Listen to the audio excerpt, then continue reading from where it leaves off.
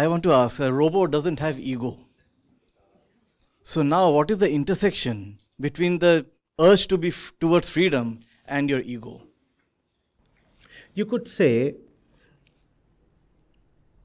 the robo does have an ego planted into it by its designer.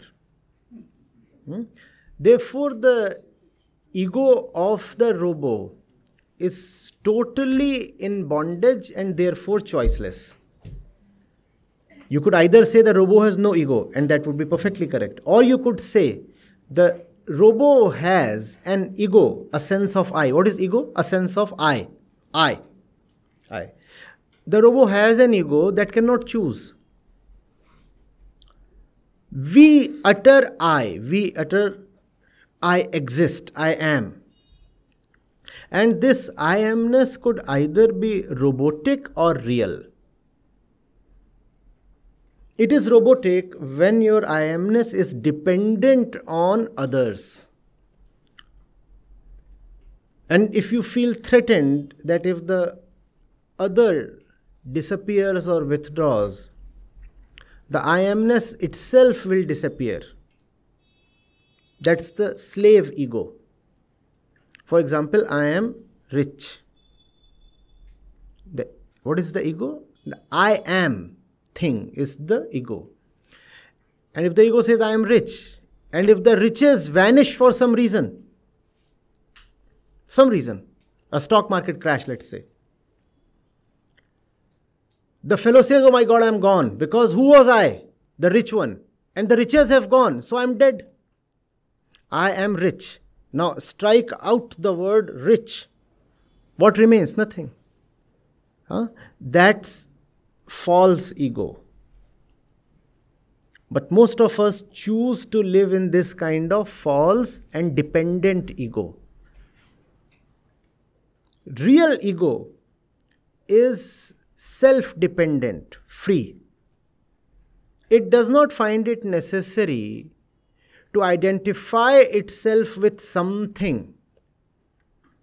It does not experience a kind of vacuum that it must compulsorily fill up with something, anything, some trash. Many of us, for example, might be finding it difficult to just sit silently and listen. Because in the moment of silence, you have to say, I am. In fact, you don't even say, I am. There's just silence. And that's a threat to the ego because the ego must say something. I am X, I am Y. So the ego chooses to say, I am gossiping. Now, gossip makes the ego feel alive. Oh, I exist. Otherwise, there is the danger of inner death. Obviously, a false death. No real danger, actually. Do you get this? The way we are, the way we are born, we are born with the sense of I am.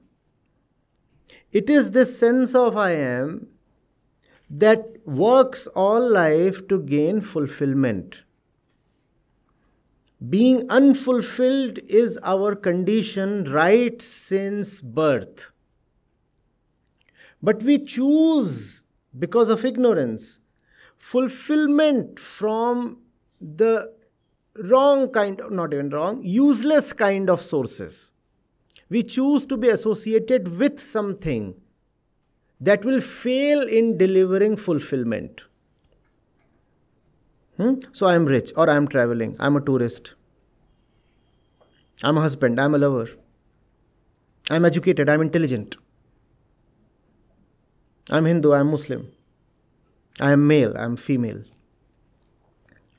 I'm smart. We want at all moments to associate ourselves with a certain identity.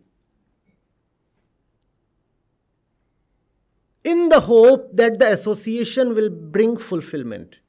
That association does not bring fulfillment because it is an exercise in the wrong direction. We require not association but actually dissociation. That is called freedom. Freedom is to dissociate yourself from all your dependencies. Would you remember this? Freedom is to dissociate yourself from your dependencies. Whereas the ego is constantly clamoring for more and more dependencies. Even the things that you call as your assets actually become your dependencies. For example, I own a Rolls Royce. In language, I seem to be implying that I am the master of the car. But tell me, one day the Rolls Royce isn't visible, something has happened. And you need to go from place A to place B. And all that is available is a humble hero splendor. What will happen to you? Think of your condition. Now, who's the master and who's the slave? Who is the master? Were you the owner of the car? No.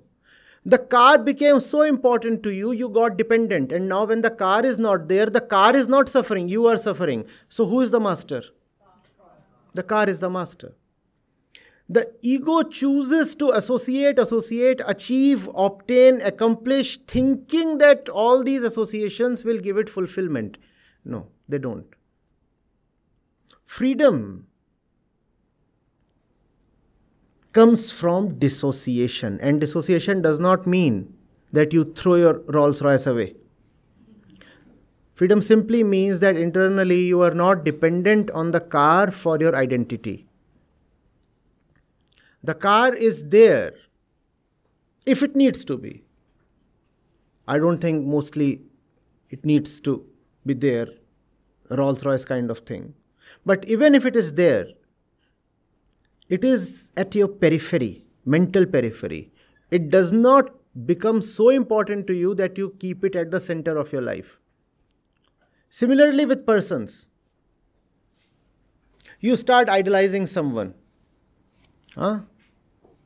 You call someone as your role model, and that person becomes so important to you. Or because I'm talking to young people, you fall in love and that person becomes your entire universe. If not the entire universe, at least the center of your universe. That's the way of the ego to depend, to constantly experience a hollow and look towards the world to somehow fill up that hollow. Can this fill up my hollow? I, I want to attain this. So I'll work very hard to earn money to have this, hoping that this will reduce my feeling of being unfulfilled. Rolls Royce, a higher degree, a better paying job, a bigger house, a new boyfriend, all these are in the same category. The ego is using them to somehow get rid of its state of incompleteness. But these efforts do not succeed. What the ego really wants is freedom, not association. More associations will not make you feel better. Freedom from associations is what make you, makes you come alive. And freedom from associations does not mean being a loner. It simply means not being a slave. Can't you be in a relationship without being a slave? Can't there be a healthy and free relationship? Or do you really have to become somebody's pet dog for the relationship to exist? Right? So that's a choice that you have. Do you want to live in freedom? Or do you want to chase associations, assets, accomplishments all your life? The more you chase, the more you will be disappointed and suffer. Is this making sense? Or is it just too much and too fast? Huh? Not sure. I hope this at least gives you a start. Hmm? You're young, you have long way to go and you have time.